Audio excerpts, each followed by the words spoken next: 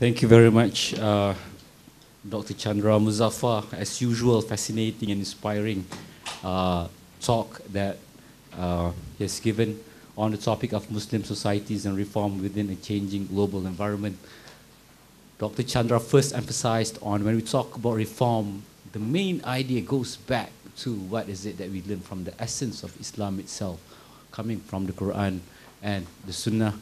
And the seven key points um, is, is, is definitely crucial matters that we need to, we need to look into uh, further on environment, socioeconomic disparities, hegemonic power, violence, corruption, abuse, ethnic bigotry, religious extremism. Family disintegration is a very important point, and how do we perceive ourselves as the challenges of the individuals. And going back to this, some of the suggestions, um, in fact, before going to the suggestions, uh, Dr. Chandra addressed the internal and the external challenges. The internal challenges within Muslim communities or within Muslim countries, Muslim society itself, is the very long historical, until now, um, the relation between uh, the religion, Islam, and power and authority, while at the same time having the challenges of the decline of faith uh, among um, us Muslims mainly. And while at the same time, the important elements of addressing the external challenges, the crusade, the Mongol invasion, and what is all still lasting until now, perhaps you can say, the effect of colonialism. And when it comes to remedies, um, on ourselves, on the leadership, education, nation state, people, the, imp the importance for us to develop global movements.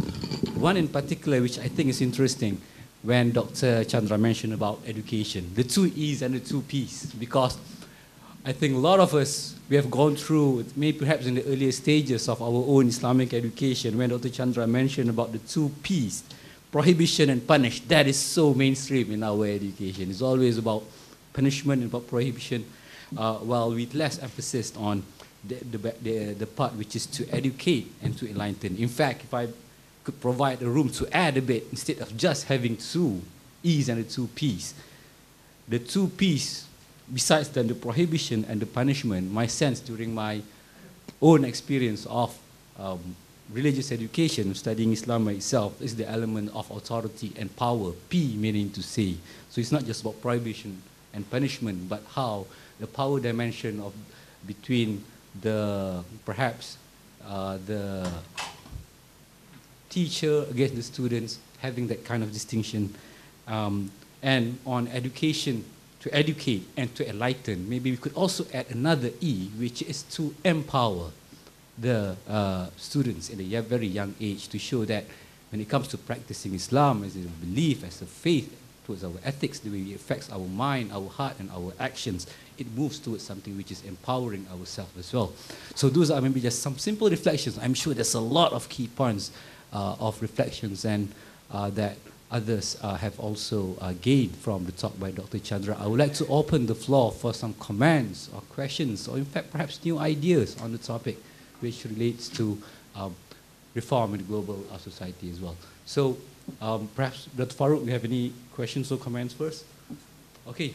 Um, Anyone perhaps with some comment, just to spark a starting point of discussion, responding to the talk by uh, Dr. Chandra. Alaikum. I'm Imtiaz Yusuf from ISTAC IIUM. Uh, thank you very much, Professor Chandra. You rightly talked about 2P and 2E.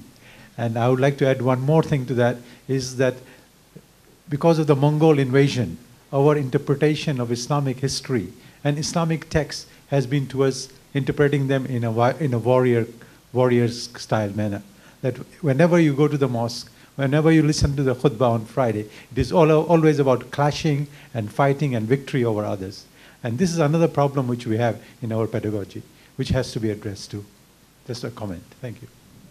Thank you very much. Uh, I agree with you completely, Brother Imtiaz, that uh, this emphasis upon combat, about uh, being involved in, in fighting, this is something which um, has been addressed by a number of individuals. There is this point that has been made that uh, perhaps this is from Wahiduddin Khan, you know, the famous Islamic thinker in Delhi. And uh, he has observed once that um, if you look at the amount of time the Prophet spent on actual physical combat, it may not have been more than three days of his life, total. You know, not more than three days. Because, you know, the way battles took place, uh, I think it was much more decent in those days, you know. Yeah, and uh, you go and rest and you come back after, you know, maybe a couple of days, whatever. But total, only about three days, it says. And yet, if you look at the way battles and the victories on the battlefield are lauded in uh, Muslim history, the history that Muslims have written themselves, you, you give the impression that this was so central to his mission, when actually it was just a small part. Most of it was, you know, educating and administering and, you know, counseling people and all the rest of it. But this is not given enough emphasis. And uh, I saw this in the textbooks of my daughters, you know, when they were in school in, in Penang, you know, when we were living in Penang at that time. And I was just astonished that there was such detailed description about battles, you know, and, um, and for that reason, Khalid ibn Walid, I'm sure he was a great person, but, you know, the way in which his personality was exaggerated and other aspects of um, Islam and early history and so on were not given that emphasis. Yes, I think it's partly because of the various experiences Muslims had gone through, and also I think the unresolved problem of power, understanding power. That power must be expressed in a certain way. If you had power which is spiritual, isn't that also power? Moral power, isn't that also inner power? And somehow that doesn't figure. I agree with you. Um, Assalamu alaikum. Um, good evening. Um, Dr. Chandra Muzaffar, I have um, you know, some problems. Please, sorry, Balkis. Pardon? Please introduce yourself first. Oh, Yeah. uh, my name is Balkis. Um, I'm currently doing certificate. I'm currently doing certificate of legal practice. Um, I used to study at Queen Mary in London. Um, I have some concerns or, or pessimisms about, um, you know, you were saying about having a um, and a platform that uh, we could all come together and you know being given all power equally. However, in reality, that's not the case. You know, even in the United Nations Security Council, you don't actually have that. Um, I mean, we are even divided into, say, um, developed countries, um, third world countries, least de- developed countries, developing countries. This sort of segmentation in the first place, and even uh, with the um, powerful countries looking at the, you know, Islamic countries as having less sovereignty, that in itself have shown that we could not come uh, into a platform together if we are not given the same sovereignty in the first place. And even if you look at the past, you know, the uh, weapon mass destruction um, in, by the US, that has, has already shown that we could not be given the same power. So how do we come out, out of this realm and create um, a, new, I don't know, world that, that we could all come together and then, you know, being given um, the same power to everyone, each states, all together. Thank you. Uh, Assalamu alaikum. Um, I'm Junaid Ahmed from Pakistan, and Dr. Chandra surely knows me. Um, actually, related to the, what the previous speaker was saying, um, the first uh, part, I was just going to say that we should try to avoid, um, may God bless his soul, the late Maulana Wahiduddin Khan, uh, quoting him since uh, he uh, certainly um, over the past few years of his life uh, he was began to write for RSS journals and for Hindu right-wing journals in India um, because his theology or philosophy was one where Muslims are to blame for everything. Muslims cannot resist in Kashmir and Palestine because they are at fault, and therefore they just need to sit down, be quiet, and uh, be taken over. And some, in some future time, hopefully develop uh, to, uh, to survive and, and exist amongst uh, the Hindu community in India. So Maulana Wahiduddin Khan uh, had a theology of quietism that facilitated oppression both within India as well as where all legitimate Muslim struggles were taking place. I just wanted to point that out. I think, I think that's very important because Maulana Wahiduddin Khan is not the exception to this. We have lots of imams and maulanas uh, throughout the Muslim world uh, that refuse to take positions on issues of uh, justice and injustice. Um, people wrote about this during the anti-apartheid struggle in South Africa, how much of the ulama were just content with the white apartheid regime granting them their mosques while they refused to uh, participate in the struggle against the white, uh, white, apartheid regime. The second point is related to what was uh, being said earlier, and that is the point of, of, of Muslim uh, political representation in the modern world and uh, Muslim or Islamicate. I prefer to use Islamicate in terms of uh, the Islamicate world.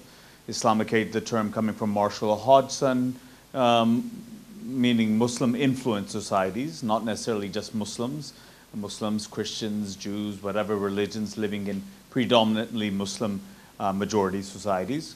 So the, the issue, it seems to, to me at least, and I wanted Dr. Chandra to respond to this, is that why we see an over, overly militarized response from Muslims uh, to the predicament they find themselves today is precisely related to the question of the lack of political representation that they uh, hold in, in, in, in, global, in the global order.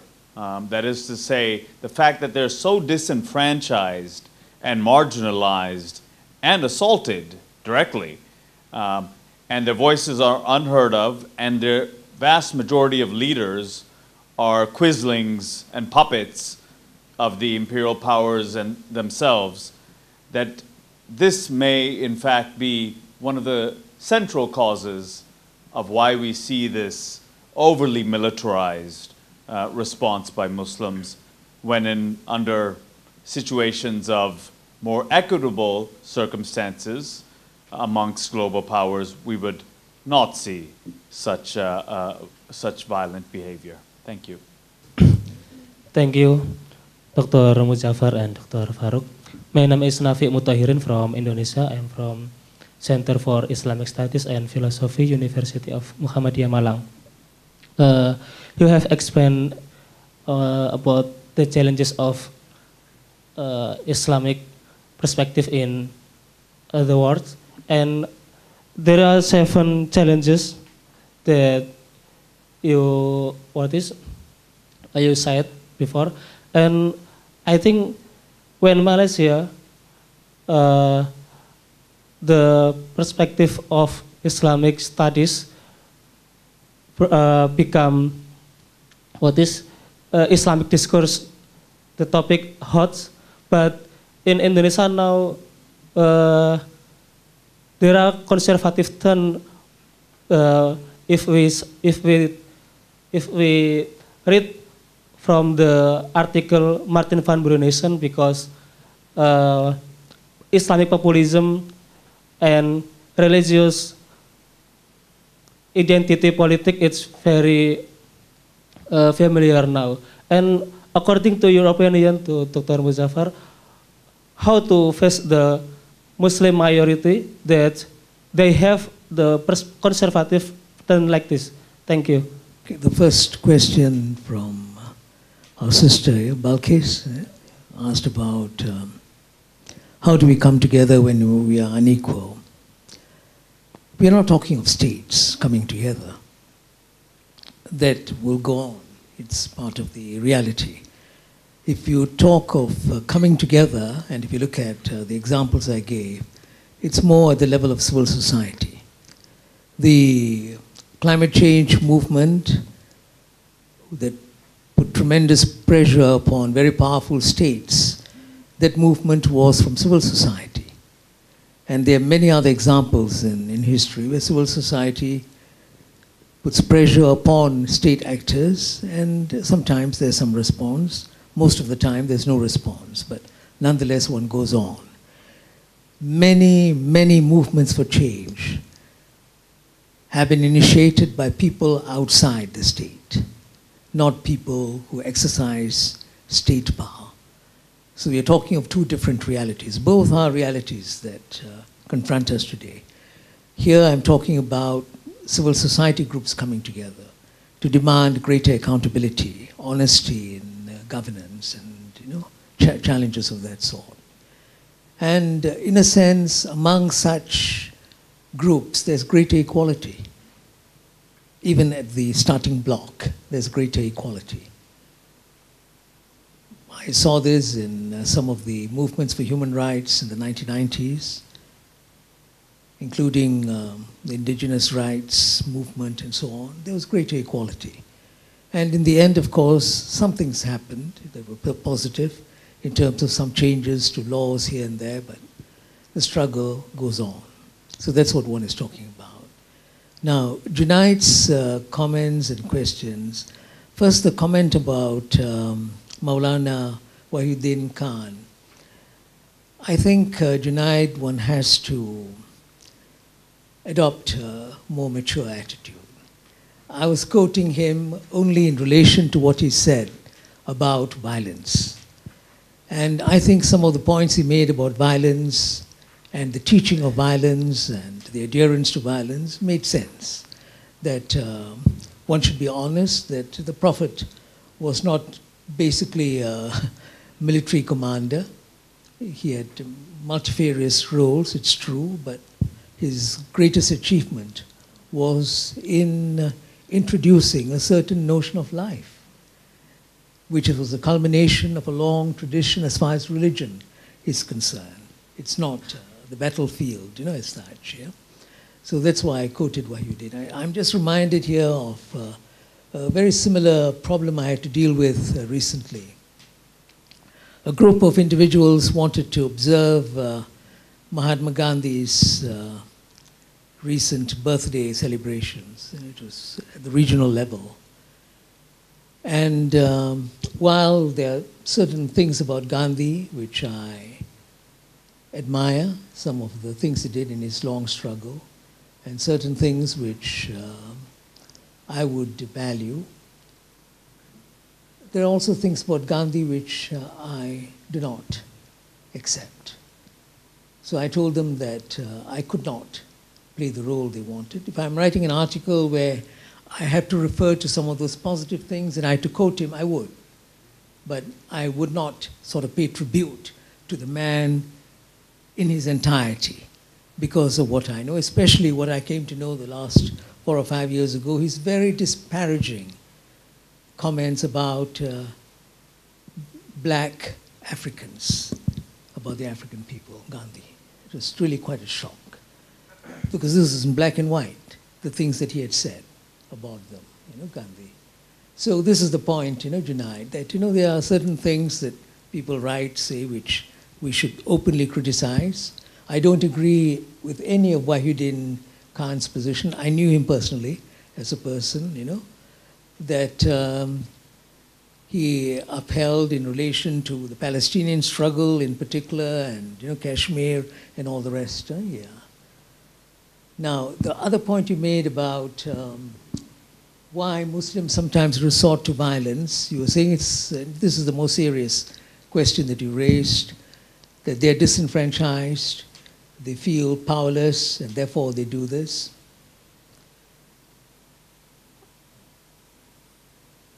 I think it is a point which one has to reflect upon further. If you look at countries which were also humiliated by colonialism and how they overcame their humiliation, different countries and different peoples had chosen different paths. In terms of a strategy, I think a lot of Muslims confronted with the past and the present and there are others who are also confronted with present realities, they have chosen a different way. And Muslims haven't given enough attention to the different path. I'm one of those who's argued for a very long while that Muslims have not explored non-violent methods of confronting dominance and power. Enough, enough. There have been examples here and there, but they've not confronted these parts enough. Even on the question of Palestine, they could have done much, much more in developing those alternatives.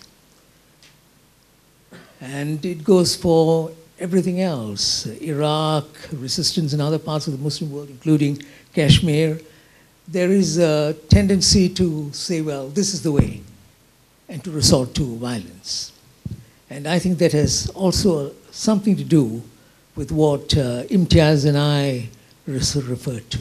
A certain notion of what military power, what uh, physical power has meant in our history, a glorification of that, which is, I think, one of the reasons why we quickly turn to this and say, this is how we're going to fight this. We find the other methods more perhaps cumbersome, takes a longer while. My reply to you, uh, Junaid, would be what um, Ghaffar Khan gave because I think his reply made a lot of sense because he resisted. He resisted colonial rule, he, he, he resisted colonial rule, he mobilized 100,000 people. And his resistance had a tremendous impact. He refused to take the path of violence because he said, My method and my path is the path of the Prophet. And I would argue the Prophet's preference was undoubtedly for nonviolence. Look at the Treaty of Hudaybiyah. Look at uh, the humiliation that he went through at Taif and other places. He didn't retaliate through violence. Yeah? He was forced into a situation where he thought that he would rather save lives than confront those who were perpetrators of violence. I think that's not happening among Muslims. I mean, we are in a closed group like this. I think we have to admit this. We can do much more in developing other alternatives. And we haven't done it here. Now, about the conservative thing, you know, Dr. Farouk, you know, from our friend in, in Indonesia, was saying, why have we taken a conservative uh, turn? Well, all those reasons that we talked about, actually external plus internal. And internal, we cannot deny the fact that uh, the monopolization of interpretation of religion by religious elites who are dependent upon state power. It played a very big role. There were very few uh, Abu Hanifas, which is why he paid the price, who stood up to state power. But most of them just succumbed and supported the rulers, what they wanted to do. We are not exempt from these things, you know. We should not give the impression that uh, if anyone says that there were tyrants among Muslims or there were Muslims who did not do what they should have done, that these are people who are deliberately distorting our history. It's not true sometimes. These things did happen, and uh, these things are blots upon our conscience. We have to admit it. Uh, Assalamu alaikum, Dr. Chandra. I'm Huda from Sisters in Islam. Um, so basically, you mentioned seven challenges. I would like to add there is another challenge, which, which is the eighth one. Um, it is patriarchy. Because patriarchy intersects at every problem that you mentioned. For example, I'm, I'm telling you in the sense of uh, um, economic disparity. So what happened in Tunisia, the Farah 8 case, where when Mufti Tunisia uh, support the equal, uh, equal um, distribution of uh, mirath, it was being resisted by the Islamist group. So this is not, um, I mean, in the sense of religious um, uh, uh, discourse is no problem, but when the Islamists came in and resist, it must be related to patriarchy. So it affects um, um, the, the economic disparity towards women as well in that sense. And then there are others, for example, it is integration of family. And we have, we have to bear in mind that this integration of family happens because of domestic violence.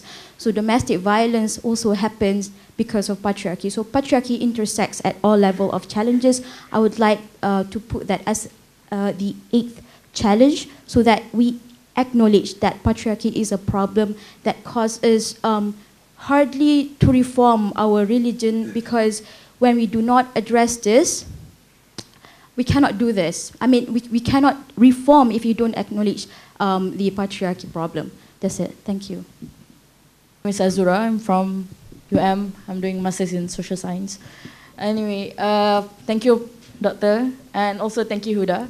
It, basically, what Huda was is trying to say is basically what I, uh, I'm trying to say. I think in seven challenges that you pointed out, I think we are missing the elephant in the room. As you can see, almost all, no, not almost, but all the challenges I stated is caused by men. No offense. when you see, when you talk about two and a half billionaires uh, holds one, most of the um, richness of the world, uh, following the statistic, 89% of the billionaires are men. Not just that, when you talk about family fundamentalisms, ideas, is from men. And when you talk about Khalifa, about killing of power, abortion, is from men. And when you were saying about, when you were sad, why all the people in the world were coming together for the France, I was saying that people don't come together because of the hijab issues. And it's not because of women. Because if they're fighting for women, they will fight for children marriage, women get raped and everything. They don't fight for that. They fight for that. People came together for Francis because they think that ideas of hijab is the fundamental idea that women have to wear it. And men cannot see women's hair because they get their nerves or something. Yeah. And what when you were talking about solutions, I think the solutions is, you know, when we talk about solutions, we, we, people say that we, we have to end capitalism, we have to bring socialism. But I think that no, even socialism doesn't fight for women rights. I think maybe one of the solutions is we have to end the patriarchal systems. Because in the end, when you talk about leaderships, even if there's new leadership that's that good, but another man comes in and there's gonna regression happening. And it proves in many. That's why we have like democratizations where now is okay and later it's not because it's, it's the same thing's gonna happen again and again. And of course, when we talk about education itself, there's so many things that we miss out education in these patriarchal systems. Yeah, which I think is going to be more elaboration and yeah, which, and that's all. Thanks. Thank you, Dr. Chandra. My name is Imran from Singapore. Um, thank you for giving such a comprehensive uh, overview of major challenges facing the Muslim world. Um, I think I will add that one of the major problems is the poverty of imagination in the Muslim world.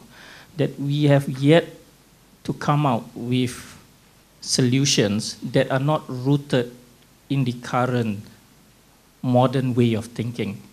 Um, and by that I mean the onset of modernity, which I would pin down to a very catastrophic event uh, that's even worse than what you had described through the Mongol invasion, and that is the 1492 um, triumph of the Reconquista uh, that led to a new world being formed uh, at the brink of modernity, which in Spain, you know, the, the, the expulsion, uh, sorry, the, the fall of Granada actually. I, I would see that as a pivotal moment because the world before that was largely a pluralistic world even under Muslim rule, there was a lot of pluralism that occurred where Jews, Christians, Muslims, etc., were, were living and engaging with each other. But the Reconquista that led to the fall of Granada totally shifted because that was also the year that Columbus set sail uh, to the so called New World. Uh, and the very things that we are observing right now in terms of the challenges of modernity were actually rehearsed in Granada. You either convert you either kill or you are exiled. And that sets a hierarchy of the races that sets uh, in motion uh, during that period. Now, there is also this idea of the epistemicide, in which local knowledge was totally destroyed in replacement of Eurocentricism. And that is, of course, what you have mentioned after that is the age of colonialism. I think that is the major factor that we are, we are dealing with. And therefore, I will add to the reform of education two Ds, which is to decenter knowledge and to decolonize knowledge, uh, even before we can even talk about any solutions. Because even the solutions that are coming out from the Muslim world tend to be adopting the model that keeps us trapped in the cycle of modernity that is totally Eurocentric. So I would like to hear your, your opinions on that. Thank you, um, Dr. Chandra, for your presentation. Just have one small comment. Um, I'm not trying to go into specifics because I think it's very contentious if I see the specific example of it. Um, Islam has a very uh, formalistic way of how they see things. So, for example, um, when certain rulings or when certain diagnosis is given in the Quran, there is a certain um, framework or at least underlying behind why that prescription is given. So my question is this, uh, and I don't think it may be addressed here. If let's say the the thinking of if we able to diagnose that oh actually why the prescription was given is because of the certain thinking at the time, um, should this be re-examined and um, perhaps maybe that uh, prescription should be revised according to the modern times? Thank you. Thank you for the questions. There were two questions related to patriarchy and to the place of uh, men in society. Now, the seven areas, it's just an individual's uh, reflection on what is happening. I'm sure there are other issues that are also important that were not included and should be included, uh, not just patriarchy. And I think one is uh, entitled to add other areas. One should, as you go along, maybe in the discussions tomorrow and day after, you would be able to talk about some of the other issues that are important. Yeah? But um, the only thing I would caution against in relation to the two ladies who asked this question is I don't think we should push any particular diagnosis of society, any particular attempt to understand problems to its uh, limit, meaning by which we proclaim at once that the problem is men. You know, someone did just now. We know that it is men who are the problem. Huh? I don't think uh, it's the sort of uh, analysis which is helpful at all. What are you going to do about it? The solution, I mean. Get rid of all the men? Is that the inner solution? I mean, it just doesn't make any sense to come up with prescriptions of this sort. Besides, it has got no scientific basis. Even if you look at this short period in history where women have been empowered politically and have held very important positions, you would be interested to know, for instance, that um, the first four women who became heads of government, not heads of state, mind you, heads of government, prime ministers, all of them went to war. All of them went to war. Golda Meir, Margaret Thatcher, Mrs. Gandhi, and uh, I think it was Mrs. Bandaranaike, the civil war in uh, Sri Lanka. All of them went to war. So women go to war quite easily. We should not conclude from that. I mean, this is why I say it is wrong to draw certain conclusions that women love to go to war or they want to prove themselves by going to war. I wouldn't draw conclusions of that sort, but the reality is if you look at all the women leaders that we have had, quite a few of them have gone to war. And that seems to be something which uh, they have had no compunctions about doing. But both men and women, they will go to war if the circumstances and situations suit their interests. That's what it is. And absolutely, Hillary Clinton, you know, and uh, numerous examples of the sort. So I think, yes, let's look at the situation. There are situations where you can blame patriarchy and so on, and patriarchy has to be challenged. All that I would agree, but I don't think we should um, come to simplistic conclusions about, you know, men and or women for that matter. Now, the next two questions, which are linked about poverty of imagination from uh, Imran, eh? yeah, that's the name, Imran, and about um, 1492 is the turning point. Here again, this is problematic. If you say that 1492, the reconquest yeah, of um, the Iberian Peninsula, that this is what began everything. I don't think so. I don't think so. You know, in terms of religious tolerance, yes. One very important aspect of life, yes. You know, there was a big change, major change. The persecutions, the you know executions, all those things. I agree. But uh, in terms of other aspects of society, including the reasons why the Muslim kingdoms declined. If you look at the decline of those kingdoms, you know, Granada was just the last, you know, but a series of them over a period of time.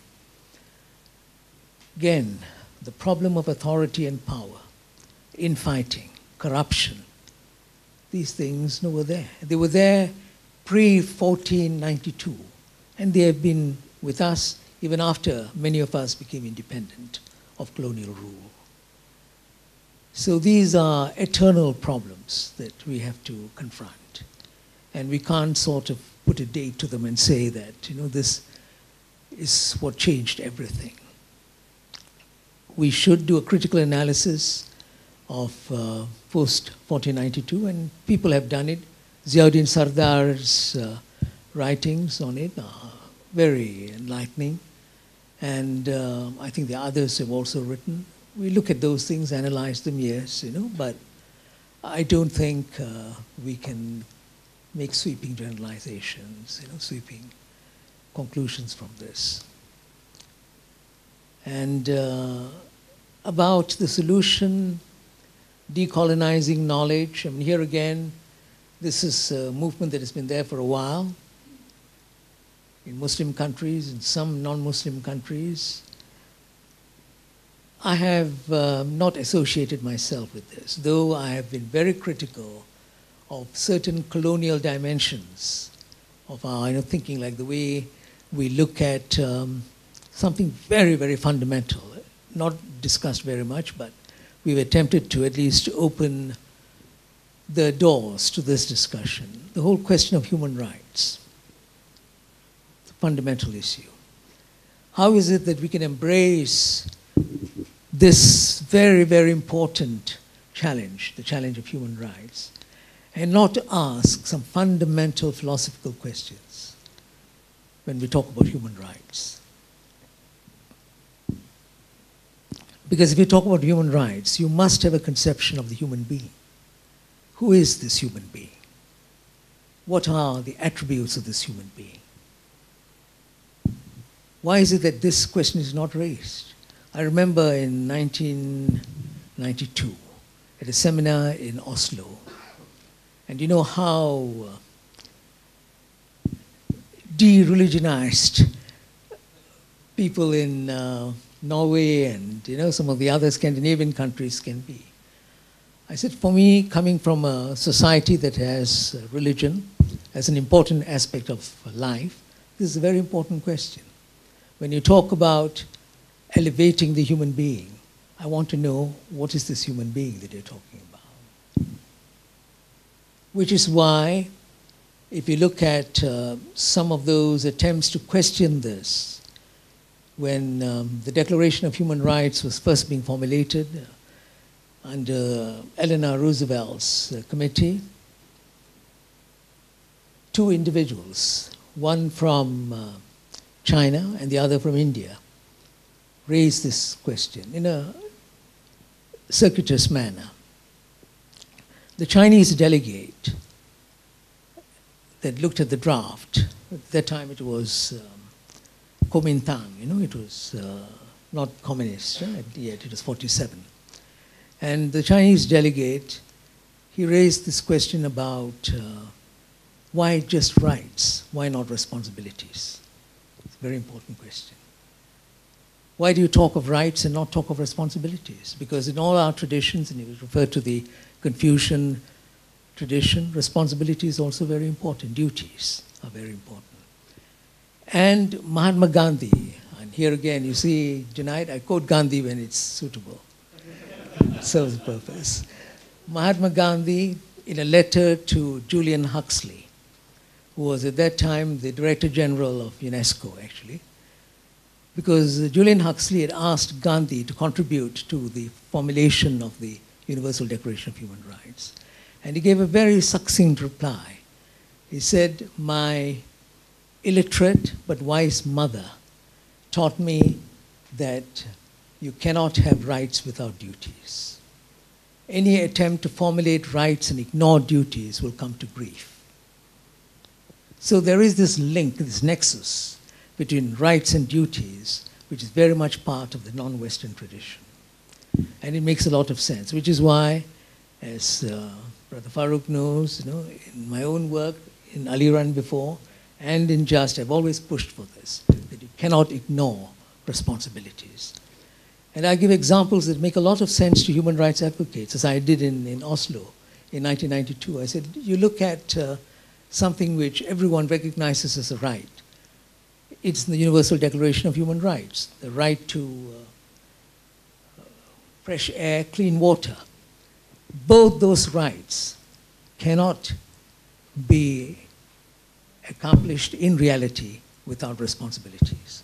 You must be responsible in your attitude towards water and towards the towards air. Only then can you have your right to yeah, clean air, water, whatever. And the same thing with free speech. You want to protect free speech, there must also be a sense of responsibility.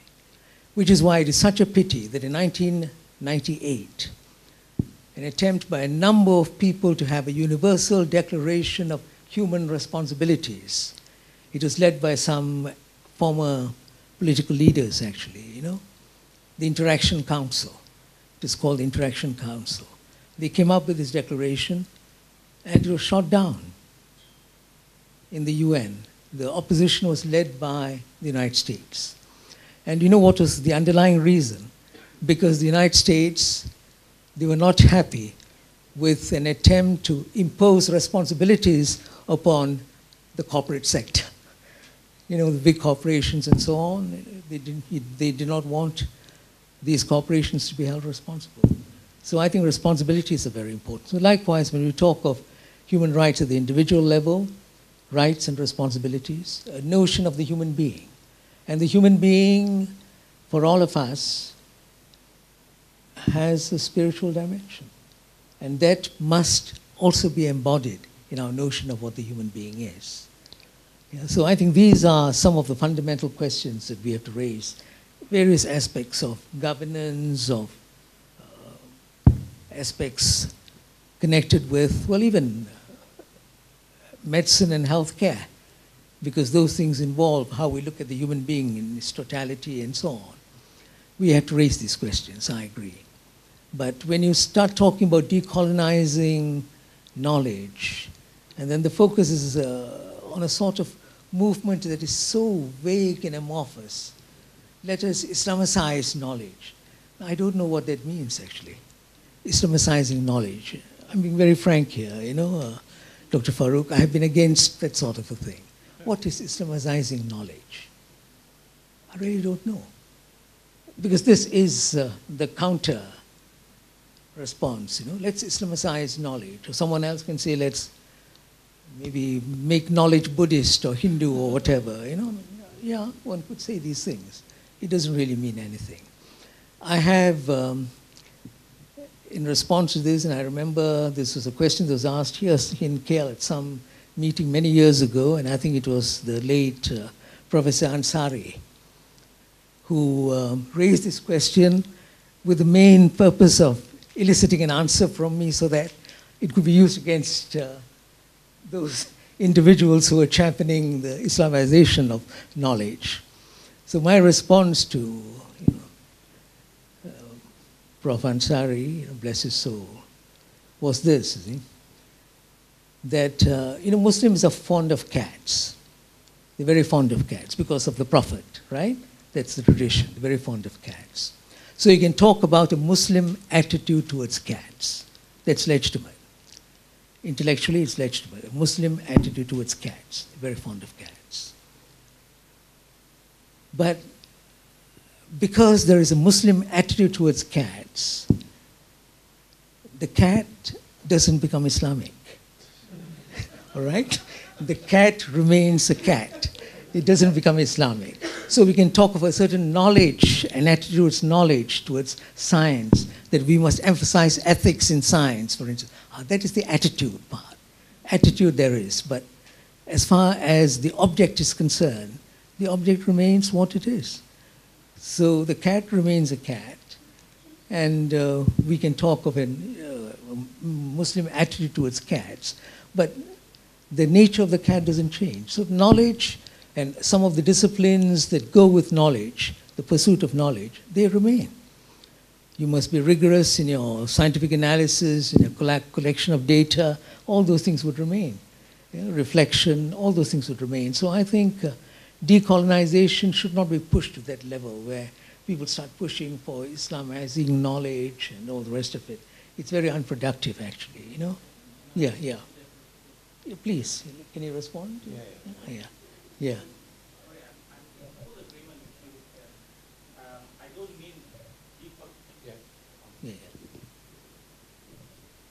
Test. Yeah. Um, I'm in full agreement with you, and I don't mean decoloniality in the sense of the opposite uh, Islamization. Mm. In fact, to me, this whole obsession with Islamization is part of the colonial trope uh, that the Muslims were responding to, and therefore yeah. they need to extricate themselves out from that. For example, in your example of the cat, because the cat has been a Christian cat, the response of the Muslims within this whole coloniality or colonial way of thinking is to respond by having an Islamic cat, right? So, so decolonizing knowledge is not about Islamizing knowledge. And I will argue that Islamism has been trapped in that cycle of seeing Islam itself through the epistemic and categories of how it's being defined by Eurocentric knowledge system. And that is the problem that the Muslim world is now facing. And decoloniality has to get out of that in order uh, to, to, to, to propose new solutions. Yeah, so I'm in agreement with you actually. Yeah, we are on the same page as far as that is concerned, yes, you know, because I know that very often in responding to a certain dominant perspective, you find that those who are dominated actually use the terminology or use uh, methods of analysis that merely reinforce the very thing that they're fighting. You know, they're supposed to be fighting these things. I agree. This is part of the problem, yes. Assalamu alaikum. Uh, my name is Dr. Nur Fatima. Um, uh, I just arrived at 8 o'clock from Islamabad uh, for this event, especially. And uh, the invitation was shared by Janet with me. So out of my own curiosity, on this subject. I just traveled from Islamabad. Um, my subject is, my area is not uh, philosophy and uh, neither uh, the Islamic history. Um, I'm more keen to know about the reforms and the state roles, though uh, it is mentioned about Muslim societies, but I think societies act through the states. And uh, as you said, that we need to build different uh, different forums, forum and societies. Civil society can work, but of course with the help of the state when it comes to reforms. Um, I fully agree. I'm sorry I could not actually listen to your whole talk, but I came in between. Um, I fully agree with your um, with your suggestions uh, about the leadership of a state, and particularly the education, the peace, and all those uh, which you have mentioned. Mm, the one thing which is not clear to me, perhaps I want more uh, you to talk about that. That is about the religious education. When you say the religious education, um, and this what is we are having in Pakistan, for instance. On the one side, that is the biggest challenge of this new liberal agenda, and the other side we have this. Um, uh, madrasa education, which we want to actually bring them to the mainstream education that is not so far that is not possible since Musharraf era. So uh, I, I'm, I'm actually not clear. Um, what kind of religious education are you talking about to, to, to get it to fit in into the reforms, uh, particularly when after this clash of civilization and the Fukuyama who has taken all the victory of this, this modernity. So where does it fit in the reforms? That is my, that was my query. Thank you. Very, very quickly, just um, the, the term, uh, and this I, hopefully within the next two days we'll get into, so I won't comment on it right now, but I think we have to be careful when using the term Islamism. Um, and uh, if you're going to use that term, explain uh, kind of how you, what you mean by it, because there's so many terms thrown around, Islamism, Islamic revivalism, Islamic fundamentalism, so on and so forth. And then how you define it, who's defining it, all these things. So that's one thing. Uh, the, the other thing was on the question of uh, of patriarchy and uh, gender inequality. I think that's very important that was raised. Um, uh, but I also think that, uh, that that's one core element, and another core element that perhaps Dr. Chandra could have added to the long list is a very Fanonian notion of, of the zone of being and non-being, and the zone of non-being, which is, which is basically the color line, the race line, the West and the non-West. So we have a situation today which is quite unique in which white women today, just look at this statistic, white women today have more power and wealth than all of non-white women and men. So try to process that statistic and you will see that yes, gender and uh, gender injustice and patriarchy are factors, but there's a, a larger system at play as well, which is that color line divide, which Fanon called the zone of being and the zone of non-being. The zone of being where conflict is managed through regulation and accommodation and, and concessions, and the zone of non-being where, where conflict is managed through violence and oppression. So we also have to look at that larger structural framework uh, when we think about gender and we think about these other things as well. Yeah. About religious education.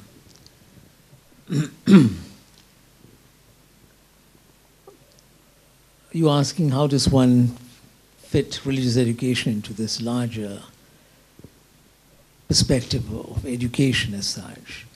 I think there are some attributes of education which would apply to all forms of education, including religious education.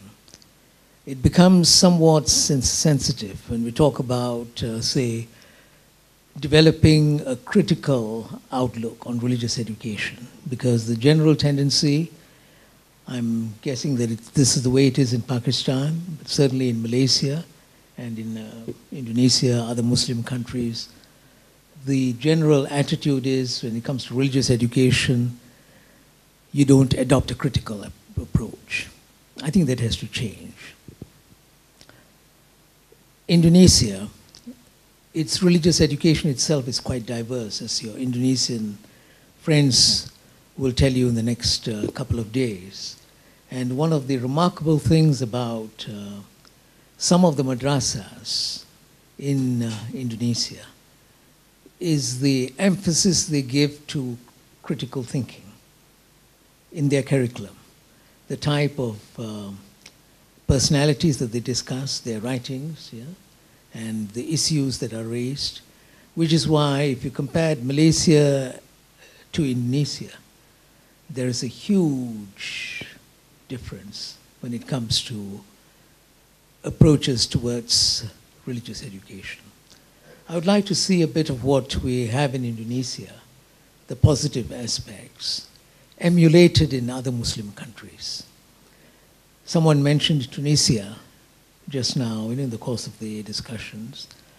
I think that's partly because of some of the changes that have taken place in uh, Tunisia over a few decades, not just with recent developments. If you look at Habib Bourguiba, and so on. He had also introduced changes that were progressive in some respects. So I think that's something that we have to do in uh, Muslim countries. Top leadership is important. The administrative structure is important because your administrators can subvert changes of this sort because people have vested interests in a thing like this. You know, they feel very strongly, and they may not allow these things to happen. And of course, the teachers and you know others who are right in the front line of you know education, that I think would be very important. And then, of course, things that are specific to religious education and specific to particular religions. These are issues that we'll have to address. But in the ultimate analysis, it's not just formal education. It is the way society itself is uh, structured. I think that is what is really important here. Now, uh, Junaid's question about yet another category, you know, it's something which may be valid as far as that particular uh, statistic is concerned about white women and you know, non-whites, all of them put together and so on. I've personally not come across this actually, you know, about uh, their situations. But if you're looking at disparities in society, all these things will have to be discussed. And um, when we had a conference on human rights here a long time ago, in 1994, one of the papers at that conference was by Du Bois, who raised this question about the color line. You'll see a whole chapter in that book on um, human wrongs. That's the title of the book uh, that we produced here. So it is something that is worth uh, reflecting upon.